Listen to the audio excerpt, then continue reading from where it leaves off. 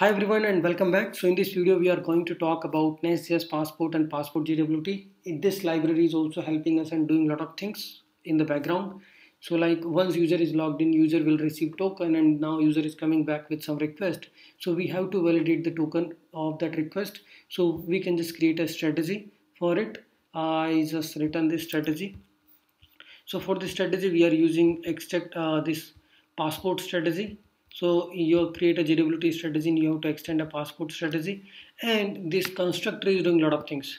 So here we are using auth service as a dependency injection and in this constructor we are passing extract JWT from header bearer token. So you will be sending the token with the, as a bearer token and this is your secret key so it will validate the to that token against it and it will just extract the payload now what we need to do is once we receive the payload once we have verified the payload this payload we are validating against the our database that uh, this user which is in the payload is still valid or not.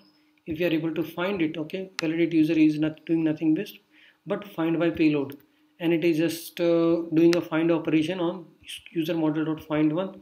If you are able to find it we have a record in system. That's fine. Otherwise if we don't have a record we are returning http exception unauthorized exception. Otherwise we are returning a payload. So passport always have a callback which will return the user object once the, the login is done. Similarly here we are using passport JWT with uh, the Nest.js passport. So here passport JWT is helping us with all the extracting JWT token from authorization and verifying callback. So verified callback done is executing once our process is over.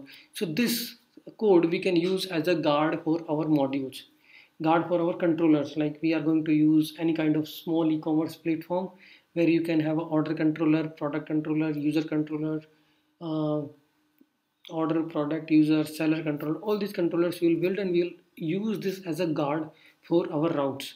Okay? Uh, thanks everyone. So i will just push this code and then we will just create talk about the different schemas we are going to have in our system